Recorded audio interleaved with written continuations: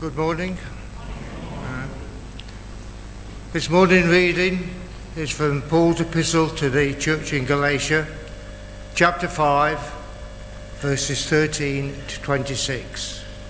If you want to follow in the Red Bible, it's on page 1172.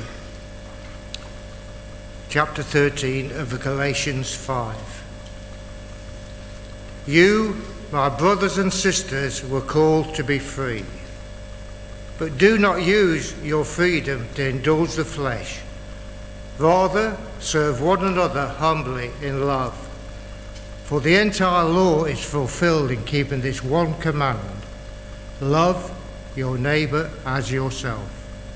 If you bite and devour each other, watch out, or you will be destroyed by each other. So I say, Walk by the Spirit, and you will not gratify the desires of the flesh. For the flesh desires what is contrary to the Spirit, and the Spirit what is contrary to the flesh. They are in conflict with each other, so that you are not to do whatever you want. But if you are led by the Spirit, you are not under the law.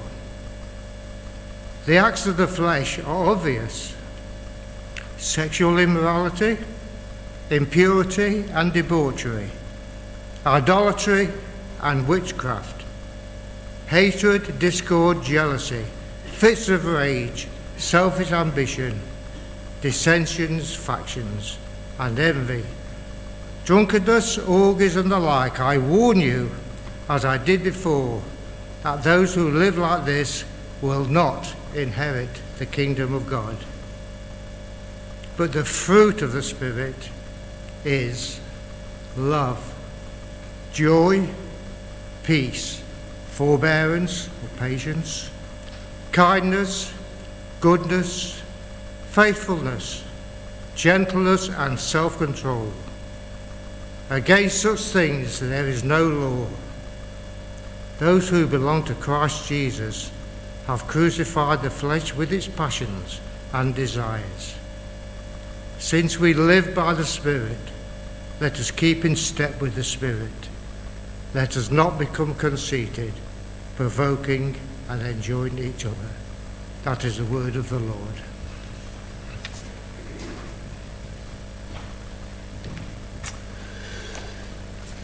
Thanks, Colin. Good morning, everyone.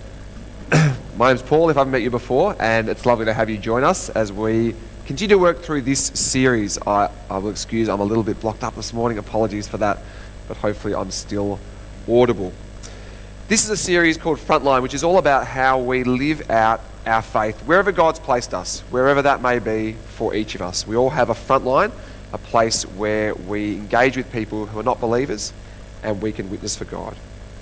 In a moment, we'll watch our second video. So, Maggie, if you could tee that up, that'd be great. But just a very quick recap of week one.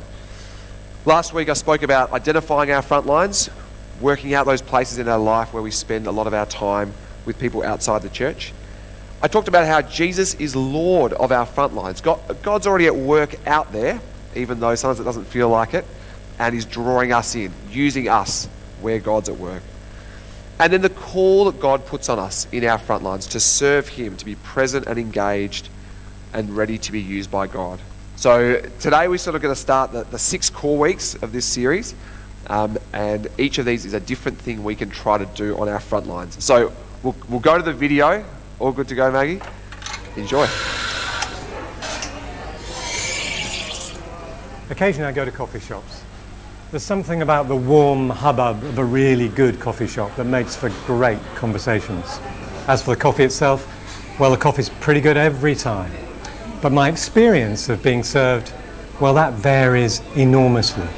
Some baristas make you feel like you're part of a production line, just another gullet to fill and another wallet to empty. Other baristas, well, they make you feel like they're really pleased to see you. Welcome. And they're always like that even though sometimes they too must have had a really bad night's sleep, or had to stand waiting for the bus in the rain for half an hour, or be worried about their mum, or maybe just have had a couple of really cranky customers complaining about the chocolate on their cappuccinos. No, they're really always pleased to see you. They don't just want to wish you a nice day. They want to make your day nicer. Character shines through in everything we do.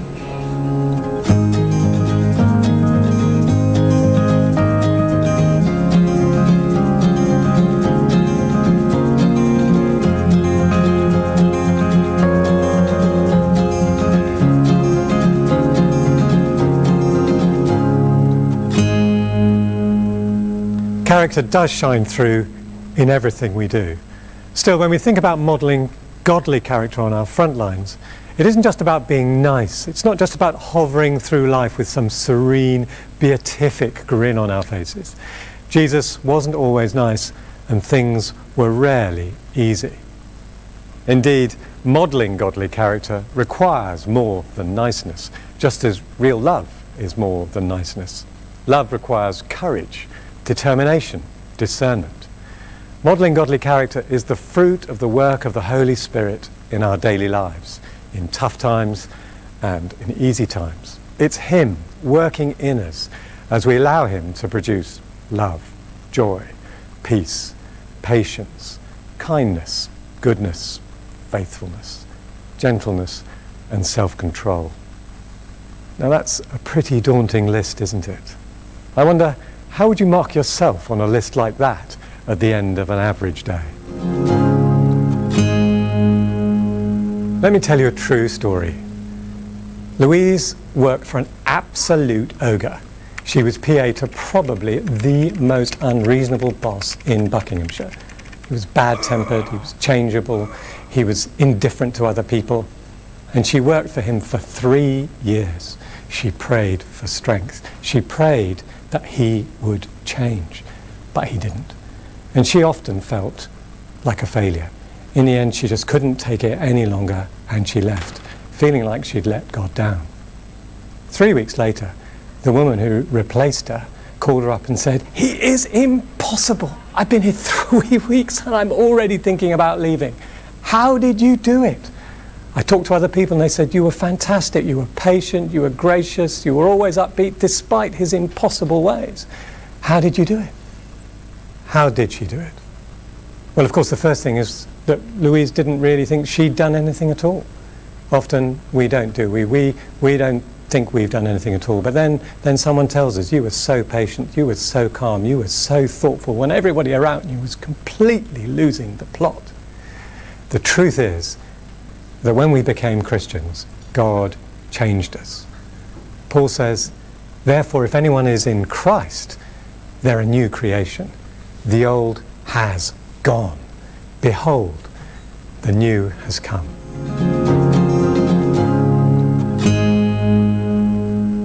You know, I take that at face value. I was a caterpillar. And when I was a caterpillar, there were only two ways to fly on a leaf's back or in a bird's beak. But now I'm a butterfly, and I thank the Lord for giving me wings. I can fly. We are new creatures with new capacities. And the Lord doesn't just give us new capacities, He gives us new fuel. His gracious Holy Spirit working in us. His gracious Holy Spirit wanting to work in us more and more, wanting not only to point us to Jesus, but to make us more like Jesus. Of course, we can't be complacent. We all have such a long way to go. But nor should we be ungrateful. God has made us new and has promised to be at work in us. So as we seek to model godly character, we don't do so in our own strength. We don't try to grit our teeth and summon up some smidgen of love, some atom of patience for that belligerent, bad tempered bully of a centre half in our football team. We go to God. Now, another thing that Louise realized about her failure on the front line was that God had been working in and through her all that time, and that others had seen it and been amazed by it.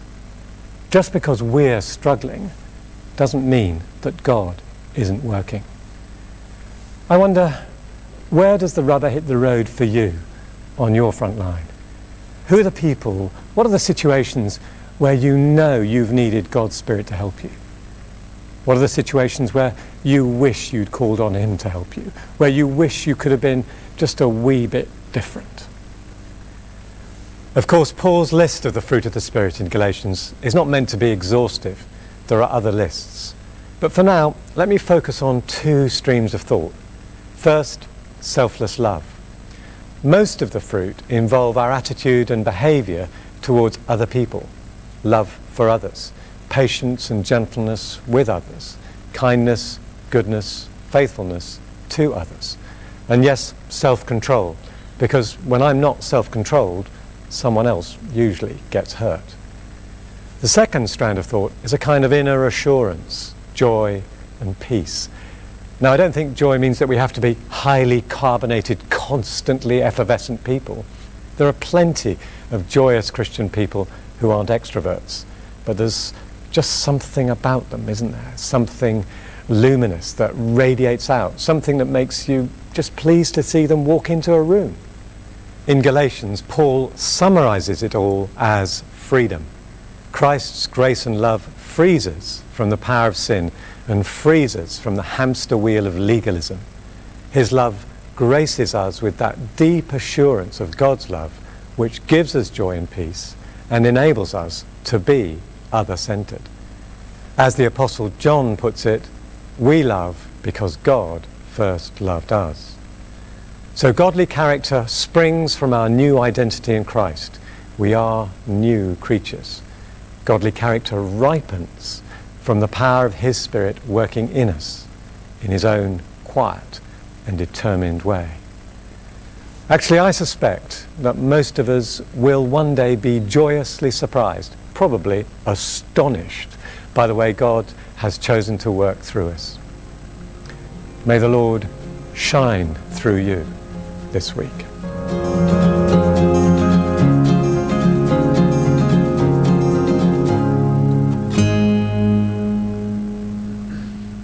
Very good, thank you, Maggie.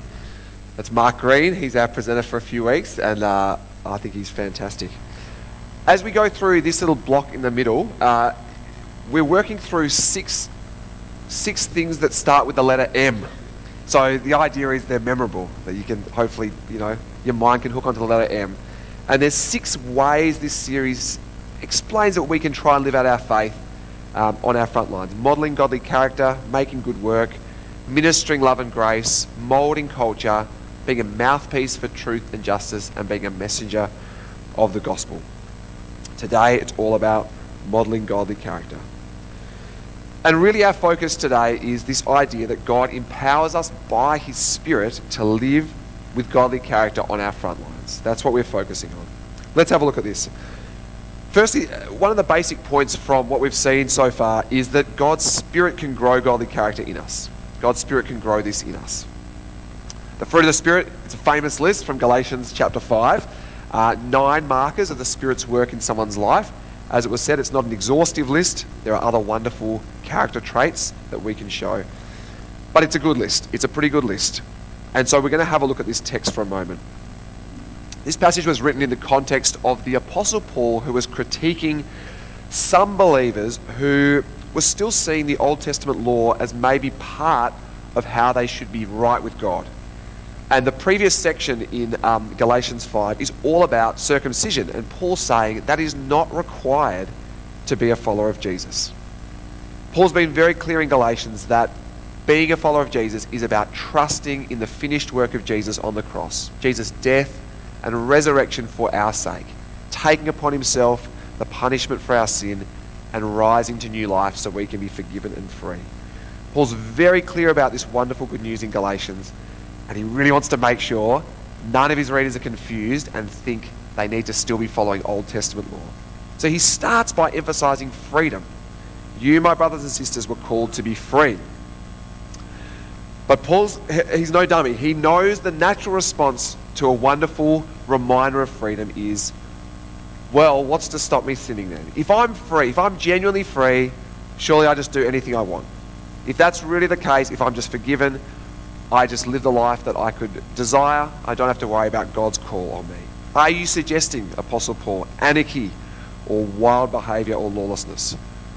Paul addresses this in the very next sentence. Do not use your freedom to indulge the flesh, rather serve one another in love. He says, You're called to be free, so exercise your freedom in a particular way, not in indulgence of personal sinful desires, but in serving one another.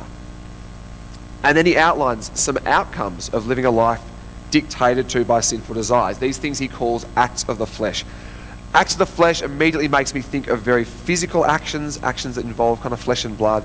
And some of them are, but Paul's list also includes a lot of mental attitudes, a lot of thoughts um, that are contrary to God's desire. I'll read that list. The acts of the flesh are obvious sexual immorality, impurity and debauchery, idolatry and witchcraft, hatred, discord, jealousies, fits of rage, selfish ambition, dissensions, factions, and envy, drunkenness, orgies, and the like. And then Paul immediately contrasts this with the fruit of the Spirit. This is the kind of thing that we are to exhibit, even in our freedom. The fruit of the Spirit is love, joy, peace, forbearance, kindness, goodness, faithfulness, gentleness, and self control. These are what God calls us to display. The other big point that's important to grasp as we think about the fruit of the Spirit is that these are produced by the Spirit. I want to just consider this for a moment. I think Paul's very deliberate with his imagery here, as he always is. He's not saying these are things you must pursue or these are the fruit of your labours. That can often be a perspective we have. He says they're, they're fruit of the Spirit. So the image is of a tree, of a fruit tree, maybe an apple tree or something. In the same way an apple tree produces apples, a spirit tree, if, if I'm extending the analogy here, a person in whom the Spirit's at work, someone in whom the Spirit dwells, produces these things. That's the fruit you should see. You won't visibly see the Spirit, but you'll see the fruit.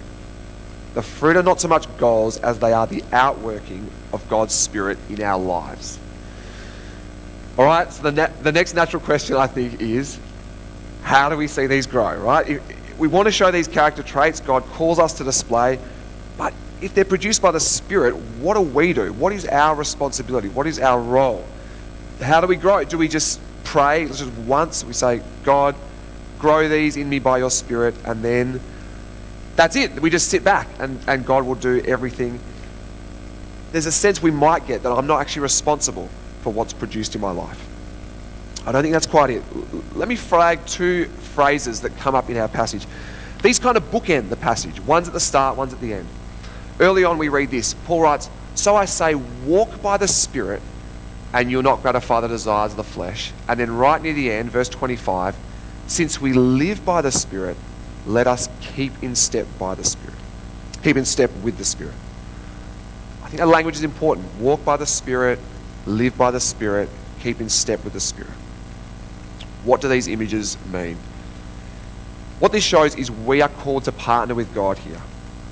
Yes, we absolutely do need to pray for God's Spirit to be at work in our lives, but we also need to walk with the Lord.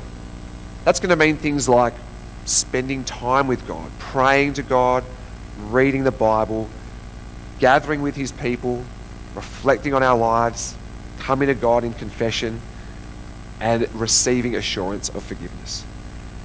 We need to be attuned to the Spirit's prompting in our life, which more and more becomes the same or, or joins with our own conscience.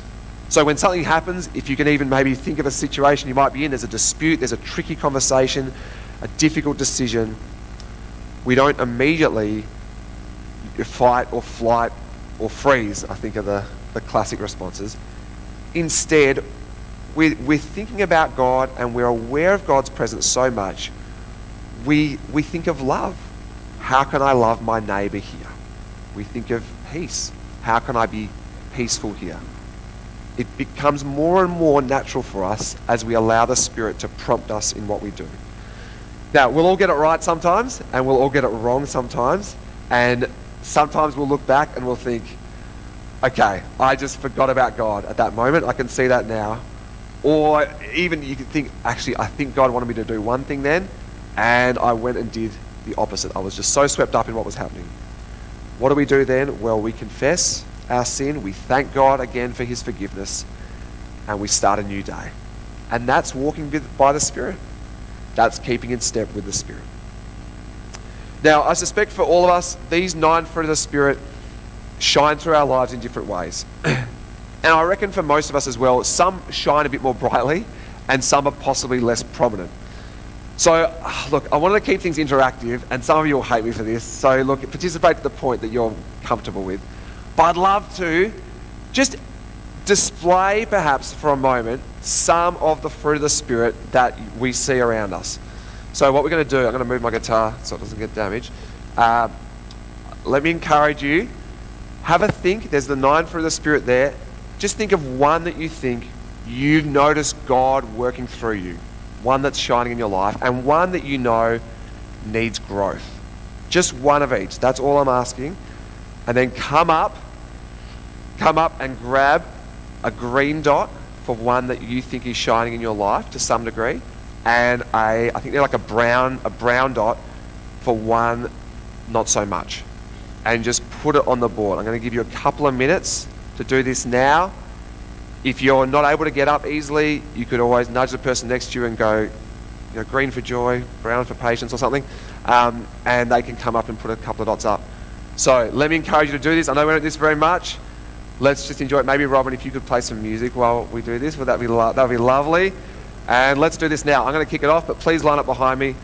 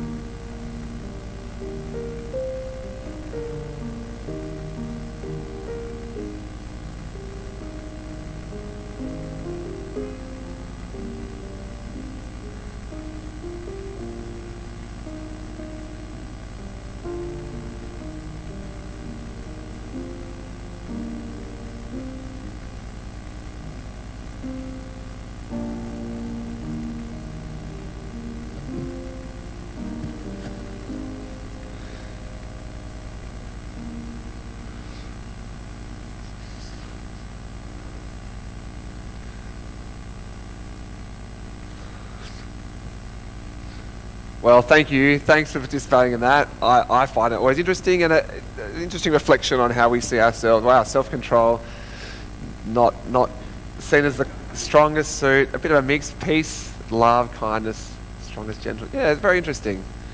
Maybe close to 50-50 for patience. Well, it's interesting to see, and hopefully it gives you a sense of solidarity, if nothing else.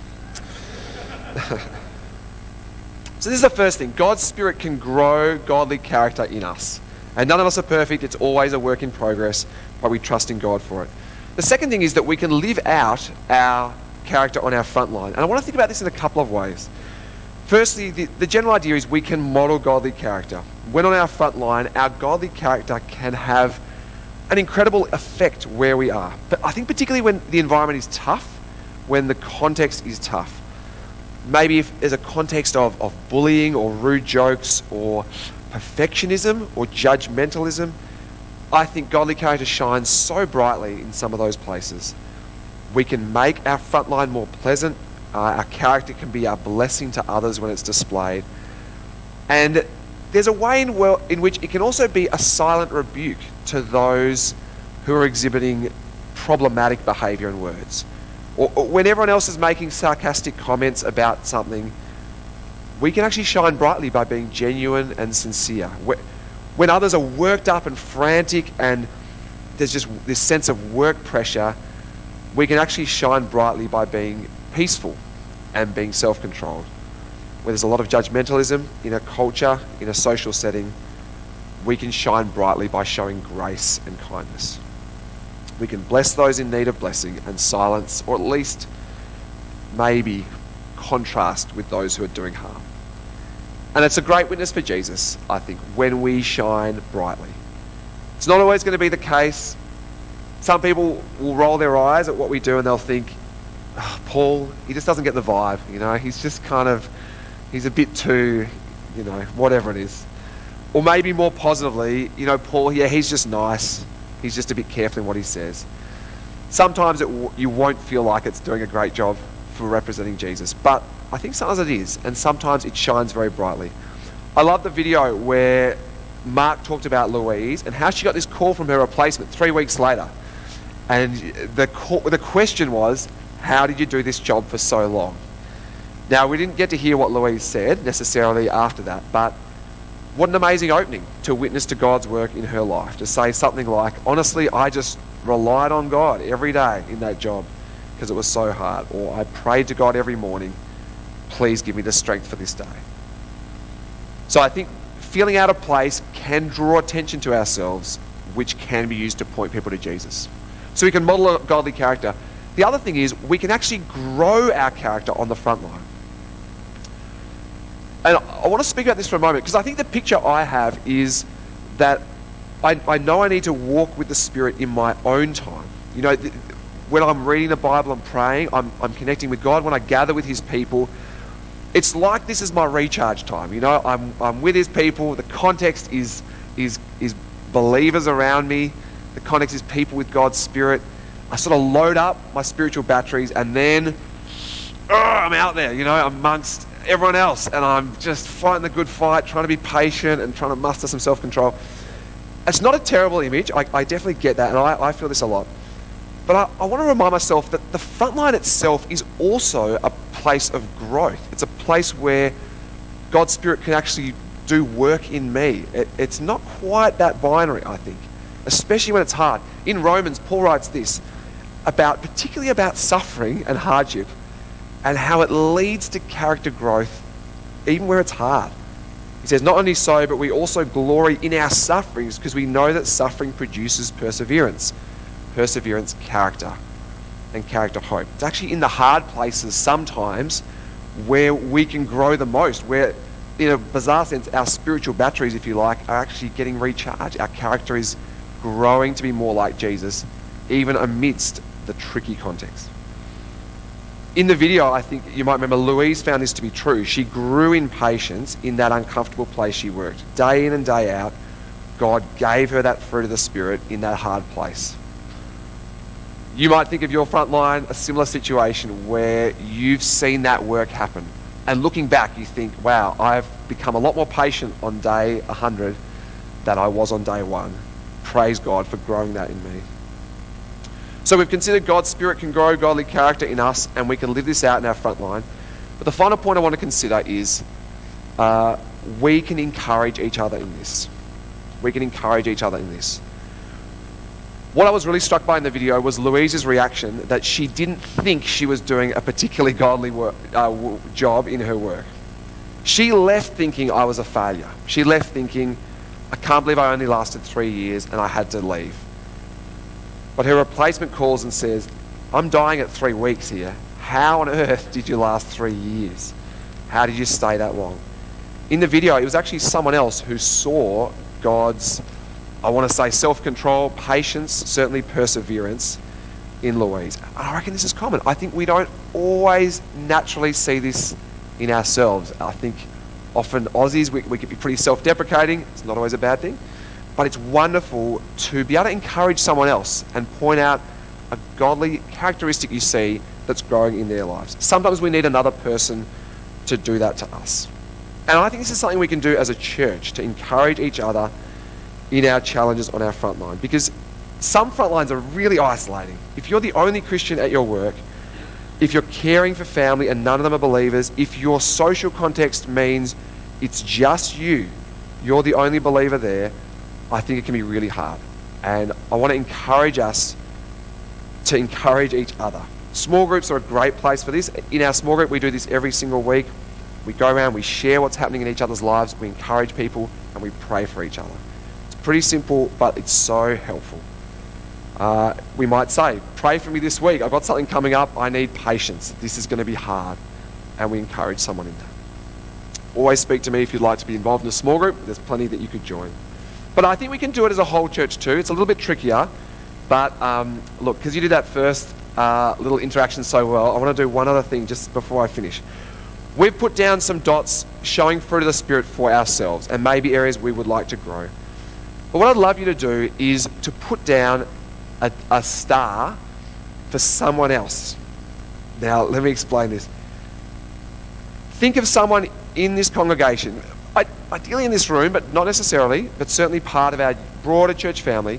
Um, and I'd love you to come up in a moment and, and put a star down for the, that person on a character trait that you think they really shine in. And then I'd love you to tell them. Maybe that's the heart of it. Maybe before you talk about the footy scores or what's happening this week over your cup of tea, just say to someone, hey, I just want to let you know, I think you've got wonderful patience or you shine with joy. Just be encouraged in that. Keep it simple and encourage each other. I'm going to try this now. Can I call on you, Robin, to play a bit more music if that's all right? Um, there are some stars here. There are some silver and gold stars. Now, I'm not getting you to put the names up, but I'd love you to remember who your star was for. So as you come up, take a star, um, grab a silver or gold star, put it on the put it on the characteristic, and remember who it was, and then afterwards encourage them. So come on up. I'm going to go first, and uh, let's do this together. Thanks, thanks, Robin.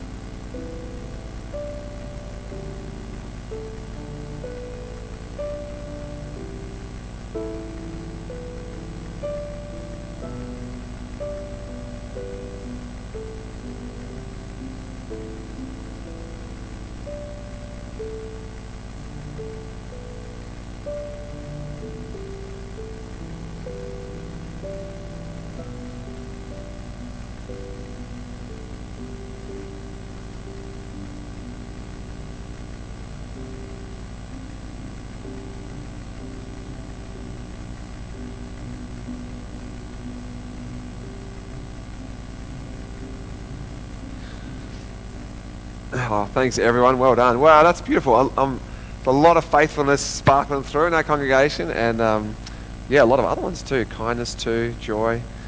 Well, thank you. Please, if you can, try and remember to encourage someone afterwards. Let me pray as we close this morning. Lord God, today we thank you so much for your spirit in our lives. For all here who trust in Jesus, Lord, we thank you for that assurance that you give us your spirit to do your work in us. And Lord, thank you that your Spirit is at work in us, producing godly character through our lives. Lord, I pray that each of us will continue to walk by the Spirit, staying close to you, Lord Jesus, day by day, being sensitive and attuned to the voice of the Spirit in our lives and our conscience as it's guided by God.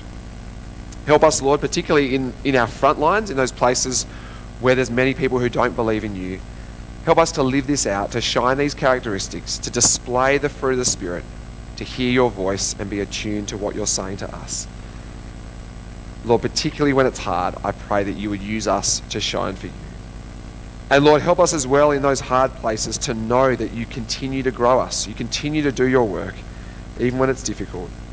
And Lord, I pray as well that as believers, we would encourage each other. Help us, Lord, to remind each other of the way we see you at work through each other's lives. Thank you, Lord, for the wonderful gift of our church, of each other. And I pray that would be an encouragement for us as we seek to model godly character wherever you've placed us. In Jesus' name, amen. Uh, we're going to close with one final song this morning. Uh, this is a song reminding us and encouraging